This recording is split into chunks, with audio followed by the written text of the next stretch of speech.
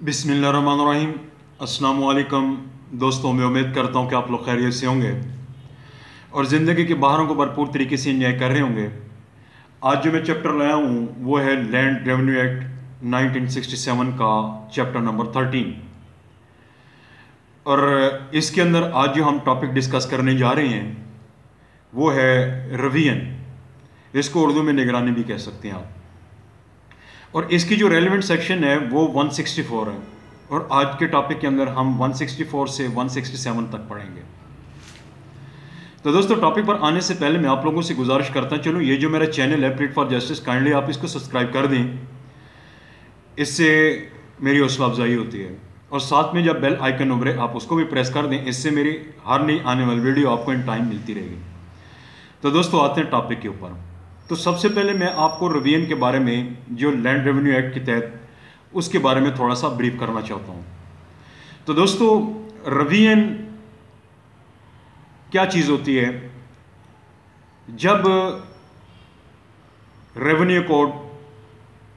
جس کو land revenue act nineteen sixty seven کے تحت اسٹیبلش کیا گیا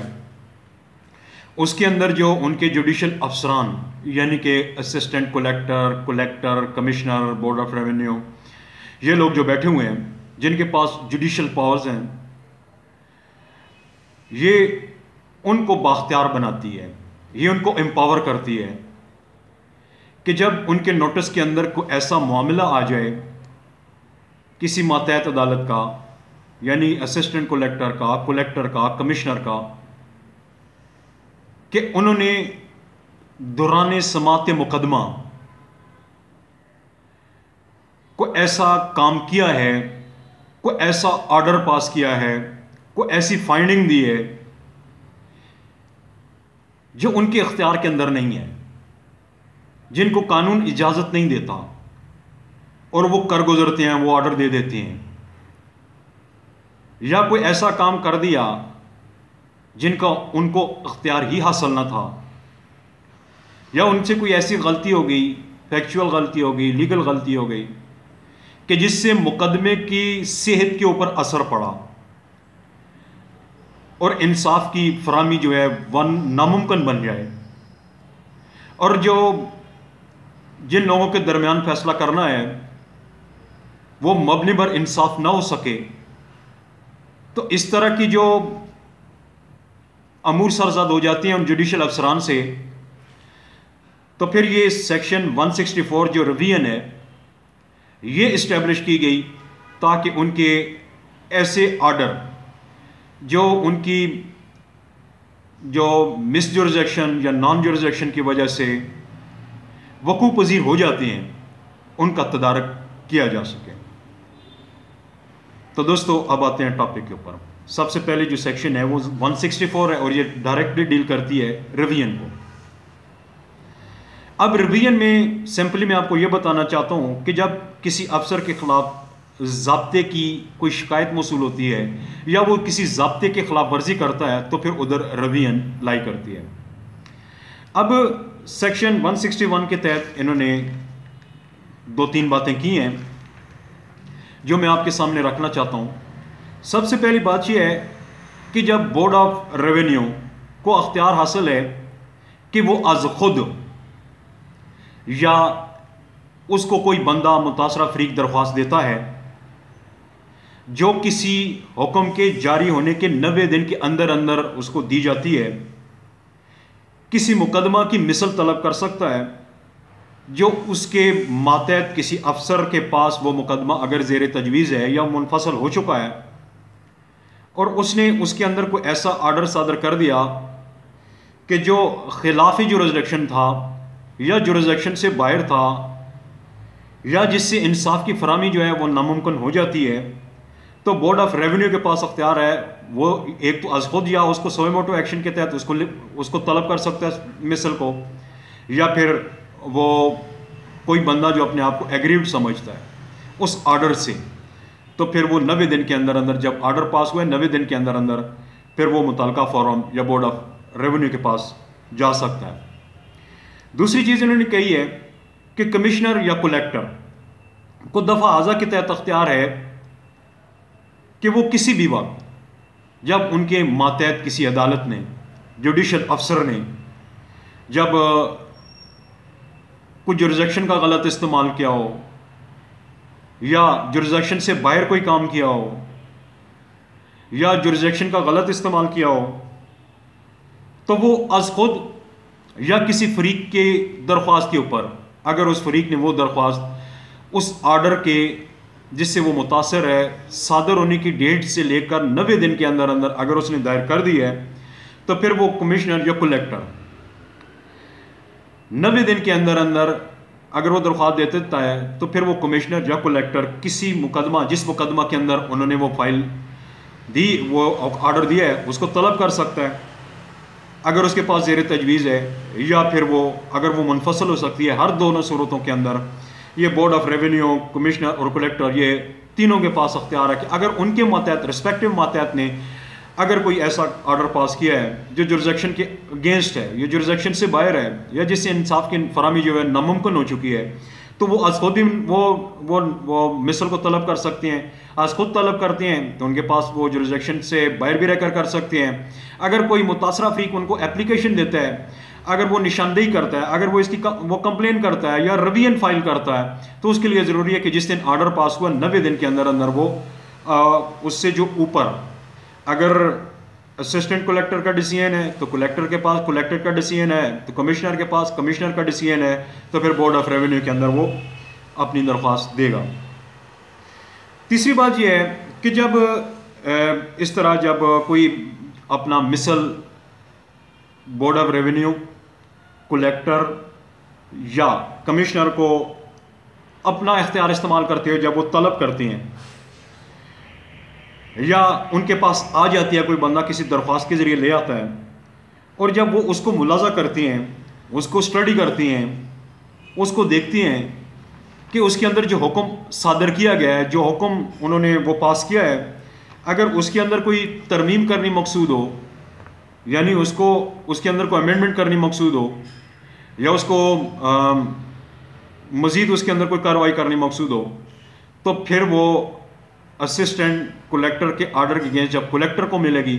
تو کلیکٹر جو ہے، اس کے اندر وہ ایک رپورٹ بنائے گا اور مزید احکامات کے لیے وہ کمشنر کو بھیج دے گا۔ چوتھی چیز یہ ہے کہ جب بورڈ آف ریونیو کو کے پاس یہ آتی ہے، مثل اس طرح کی آتی ہے، یا کمشنر کے پاس آتی ہے، اور وہ دونوں، ان کے پاس پھر اختیار ہے بورڈ آف ریونیو کو اور کمشنر کو۔ جب ان کے پاس وہ مثل وہ طلب کرتی ہیں یا مثل وہ کوئی رائے کے لیے آتی ہے یعنی کہ ماتحت افسر جو ہے وہ اوپر بیچتا ہے، یا کسی درخواست کے ذریعے روین کے ذریعے ان کے پاس آتی ہے، تو ان کے لیے ضروری ہے کہ اس کے اندر پھر ریزنیبل جو آرڈر ہے، قانون کے مطابق، طریقہ کار کے مطابق اس کے اندر وہ صادر کریں۔ مگر انہوں نے ایک کے ساتھ ایک شرط لگائی ہے۔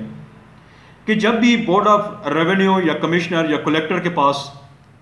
دفعہ کے تحت کاروائی کے لیے کوئی مثل یہ طلب کرتی ہیں یا ان کے پاس بطور نگرانی آتی ہے، اس کے اندر وہ جرزیکشن کے غلط استعمال یا جرزیکشن کے عدم استعمال یا آؤٹ آف جرزیکشن کوئی آرڈر ہے، جس سے انصاف کی فراہمی جو ہے وہ ناممکن ہو جاتی ہے یا انصاف کا قتل ہونا وہ ظاہر ہوتا ہو۔ تو ان کے لیے لازم ہے کہ اس مقدمے کے اندر جتنے بھی ریلیونٹ وہ پارٹیز آپ کی سوٹ ہیں، وہ ان سب کو بدریہ نوٹس عدالت کے اندر طلب کریں گے کہ وہ اصالتاً پیش ہوں، وکالتاً پیش ہوں یا تھرو اٹارنی پیش ہوں اور وہ اپنے موقف کی وہ رسپیکٹو جو کلیکٹر ہے کمشنر ہے یا پھر بورڈ آف ریونیو ہے، جیسی بھی صورت ہے، ان کے سامنے اپنا موقف پیش کریں۔ اور اگر کوئی ایویڈنس وہ پیش کریں اور ان کو سننے کے بعد پھر یہ بورڈ آف ریونیو کمشنر یا کلیکٹر اس کے اوپر کوئی مناسب فیصلہ جو ہے وہ صادر کر سکتا ہے اس کے بعد آ جاتی ہے section one sixty five one sixty five کہتی ہے کہ اسٹے آف پروسیڈنگ اور اسٹے آف ایگزیکیوشن اس کے اندر دو چیزوں کی بات کی ہوئی ہے۔ اس میں یہ ہے کہ جب کلیکٹر کے پاس کو اپیل کی جاتی ہے یا کوئی نگرانی فائل کی جاتی ہے یا کلیکٹر اپنا کمشنر کے پاس کوئی اپیل فائل کی جاتی ہے یا کوئی نگرانی فائل کی جاتی ہے یا ریوین فائل کی جاتی ہے یا بورڈ آف ریونیو کے پاس جب کوئی اپیل آتی ہے یا ان کے پاس کوئی نگرانی آتی ہے تو ان کے ان کے لیے ضروری ہے کہ ان اس کی کاروائی کو وہ کنٹینیو رکھیں۔ اور ماتحت عدالت جس کے حکم کے خلاف اپیل ہوئی ہے یا جس کے حکم کے خلاف نگرانی ہو گئی ہے، تو ماتحت عدالت جو ہے، وہ اپنی کاروائی جاری رکھے گی۔ اگر اس کے اندر جو بھی پروسیڈنگ ہے، وہ پروسیڈنگ جاری رکھے گی۔ اگر دوران مقدمہ، اگر کسی آرڈر کو چیلنج کر دیا جاتا ہے، تو پھر وہ ماتحت عدالت چاہے کولیکٹر کی ہے کمشنر کی ہے، تو پھر وہ اس کو کنٹینیو رکھیں گے، چاہے اسسٹنٹ کولیکٹر کی ہے۔ اگر ان کے کسی فائنل آرڈر کے اگینسٹ کوئی اپیل دائر ہو گئی اور اس کے اندر ان کے پاس پھر ایگزیکیوشن آ گئی، تو پھر وہ ایگزیکیوشن کو بھی جاری رکھیں گے۔ اس کو روکیں گے نہیں۔ مطلب کہ ان کا کولیکٹر اپنا اسسٹنٹ کولیکٹر کا کولیکٹر کا کمشنر کا کوئی آرڈر چیلنج ہو جاتا ہے دوران سماعت مقدمہ۔ تو وہ مقدمے کی کاروائی کو روکیں گے نہیں، بلکہ وہ جاری رکھیں گے۔ اور دوسری بات، اگر ان کے فائنل آرڈر کے خلاف اپیل ہو جاتی ہے یا ریوین ہو جاتی ہے فائل ہو جاتی ہے انسٹیٹیوٹ ہو گئی، تو پھر اس صورت کے اندر ایگزیکیوشن کی کاروائی وہ جاری رکھیں گے۔ اب اب ان کے لیے ضروری نہیں ہے کہ ایک فریق یہ پیٹتا رہے کہ جناب اس کے خلاف اپیل ہو چکی ہے۔ وہ اس کی اس بات کو سنی انسنی کر دیں گے اور اپنی کاروائی کو وہ جاری رکھیں گے۔ اب اب پروسیڈنگ کے اندر بھی کاروائی جاری رہے گی اور ایگزیکیوشن کے اندر بھی کاروائی جو ہے وہ جاری رہے گی۔ اب کوئی بندہ ہے وہ اپیلٹ اتھارٹی کے پاس آتا ہے، چاہے وہ کلیکٹر کی اتھارٹی ہے یا کمشنر کی اتھارٹی ہے، یا وہ بورڈ آف ریونیو اگر اپنی اپیلٹ جورسڈکشن کے اندر بورڈ آف ریونیو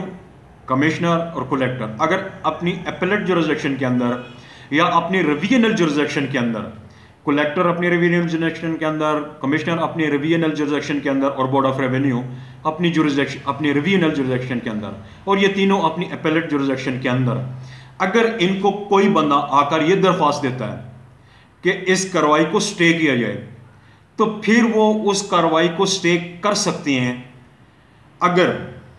اس کے اندر اگر اپلیکانٹ جو ہے، جس نے سٹے آف پروسیڈنگ یا سٹے آف ایگزیکیوشن کی اگر درخواست اس نے دی ہے تو وہ اس کو سٹڈی کریں گے. سٹڈی کرنے کے بعد دونوں فریقوں کو طلب کریں گے. اور اگر کلیکٹر کمشنر یا بورڈ آف ریونیو اگر وہ یہ سمجھتے ہیں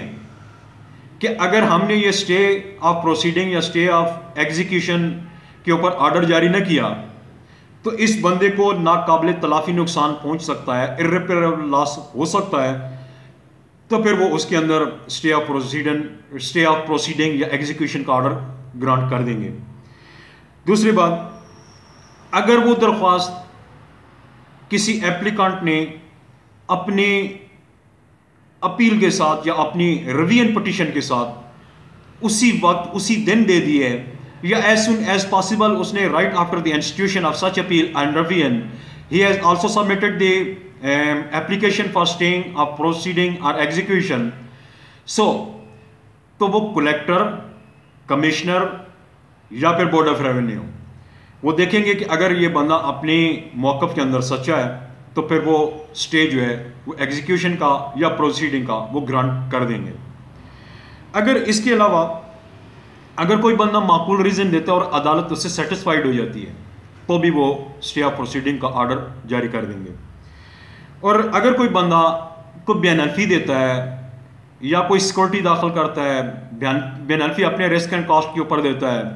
کہ جو بھی نقصان ہوگا وہ میں خود برداشت کروں گا، پھر اس کے اوپر میں عدالت سے کلیم نہیں کروں گا اور نہ ہی دوسرا بندہ اس کا ذمہ دار ہوگا۔ اس طرح کو کوئی ایفیڈیوٹ دیتا ہے اور اپنے رسک اینڈ کاسٹ کا، یا کوئی ضمانت داخل کرتا ہے، تو پھر یہ تینوں جن کے پاس یہ اپیلیٹ اینڈ ریوینل جرزیکشن ہے یعنی کولیکٹر کمشنر اور بورڈ آف ریونیو یہ پھر اس کو اسٹے آف پروسیڈنگ کی اگر اس نے اپلیکیشن دی ہے تو اس کو ایکسیپٹ کرتے ہوئے ایگزیکیوشن کو بھی اسٹاپ کر سکتے ہیں اور پروسیڈنگ کو بھی ماتحت عدالت کی پروسیڈنگ یا ایگزیکیوشن کو بھی اسٹاپ کر سکتے ہیں۔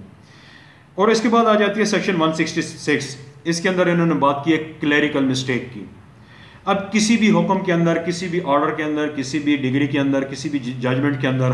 اگر عدالت عدالت کے جوڈیشل افسر جو ہے، چاہے وہ اسسٹنٹ کولیکٹر ہے کولیکٹر ہے کمشنر ہے بورڈ آف ریونیو ہے،